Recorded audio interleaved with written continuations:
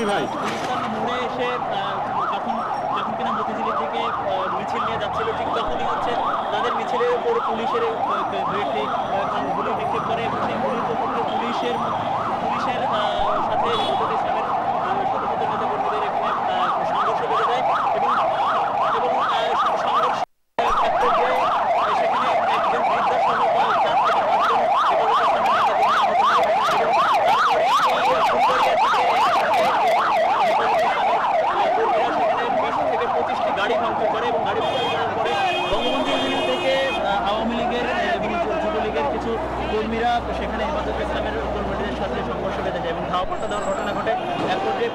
পর্যটনের দিক থেকে আবার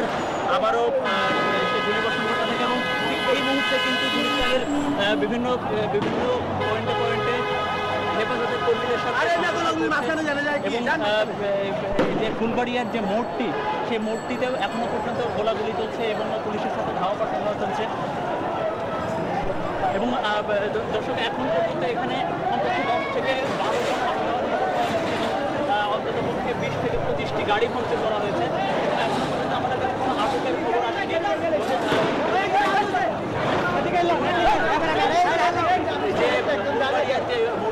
গুলিস্তানের গুলিস্তান সুপার মার্কেটের একেবারে পেছনে ঠিক সেই অংশেই এখনও পর্যন্ত যে পুলিশের সাথে পুলিশের সাথে পুলিশের সাথে সংঘর্ষ চলছে এখনও এবং আপনারা যেমনটি দেখতে পাচ্ছেন পুরো রাস্তায় ইট ছেয়ে গেছে এবং আওয়ামী লীগের সেম আজকে ইসলামের কর্মীদের এবং এখন পর্যন্ত সেখান থেকে দুই পার্সেন্ট যে আমরা এবং পুলিশ একটু আগে শর্টগানের গুলি এবং আবার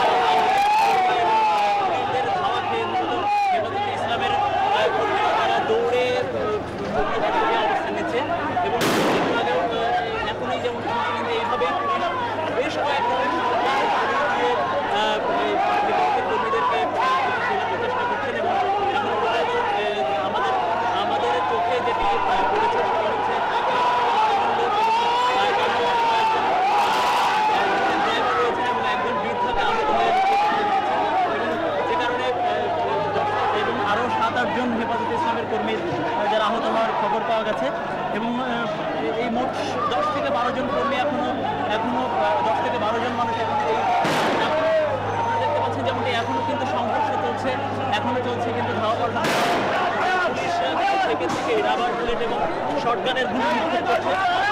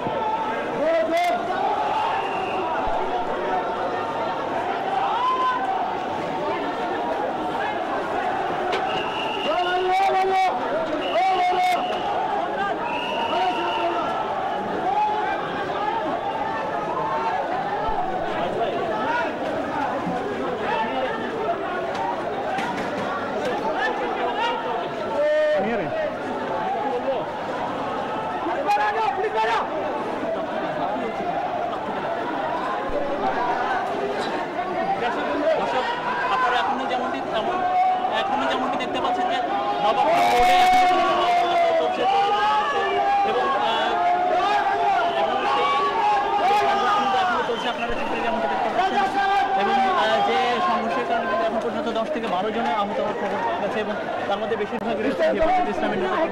এবং যে আওয়ামী লীগের যে যুবলীগের যে সমর্থক নিয়ে পুলিশের সাথে অবস্থান করছেন এবং এবং হেফাজত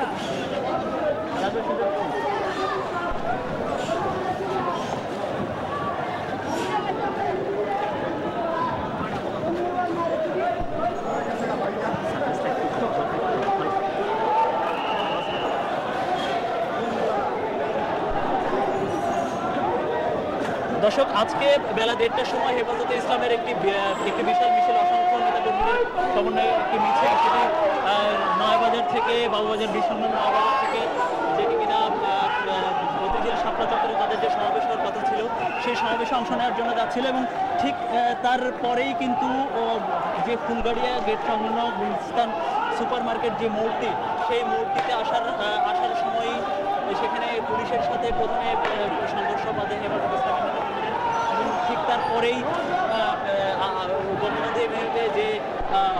অবরোধ বিরোধী যে যে পক্ষ অবস্থান করছিল, যুবলীগ আওয়ামী লীগের এবং যারা সমর্থক ছিল, তাদের সাথে হেফাজত ইসলামের কয়েক দফা এখানে পাল্টানো হয় এবং এই এই কারণে কিন্তু পুরো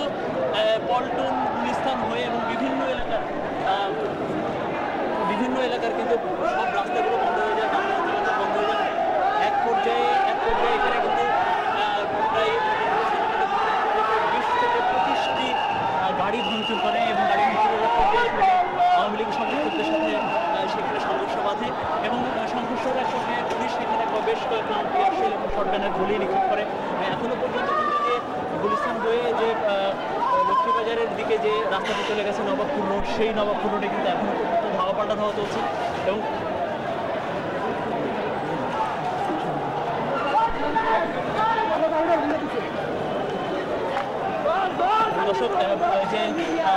যে যে কর্মসূচি ছিল সেই কর্মসূচির আহ, এক পর্যায়ে কিন্তু এই সমস্যাটি বাধে এবং থেকে বারো জন তার মধ্যে দশ থেকে বারো জন আহত হয়েছেন এবং তার মধ্যে তার মধ্যে তার মধ্যে আটজন কর্মী রয়েছে যারা যে তিনজন তারা দুইজন আমরা দেখছি গাড়ির ড্রাইভার এবং আরেকজন বৃদ্ধা মহিলা তিনি কাছে তিনি আহত হন। এখনও দেখছি যে আওয়ামী লীগ এবং যুবলীগের যে সমর্থক রয়েছে, সেই সমর্থকদের সাথে কিন্তু হেফাজতে ইসলামের কর্মীদের এখনও স- ধাওয়া পাল্টা ধাওয়া চলছে এবং চলছে ইট পাটকেল নিক্ষেপ আমরা যেমনটা দেখতে পাচ্ছি। আমরা কিন্তু যে অপর প্রান্তে যে হেফাজতে ইসলামের কর্মীরা রয়েছেন, তাদের তাদের, তাদেরও কিন্তু